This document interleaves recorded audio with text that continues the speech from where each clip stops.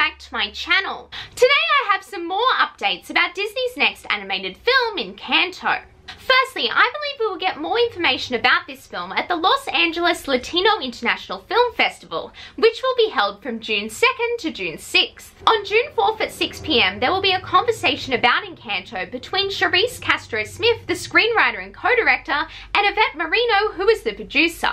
The website says we'll walk you through the creative journey of bringing Encanto to the big screen, and more specifically, the creative process through a Latinx lens. I believe we will receive a first look at the film on this date, probably of Mirabel and her animal sidekick. I don't think we will get a full trailer on this date, I think it will come the following week on Good Morning America, as that's the pattern. Secondly, I have heard a casting rumour that I'm like 90% sure is correct. I can't say exactly who it is yet, but I will say I think this actress is playing the eldest sister, who is supposed to be a really good singer. Hopefully I'll be able to reveal more soon. Anyway, that is all for today. Like this video if you liked it and please subscribe. It would mean so much to me. Bye now and have a magical day.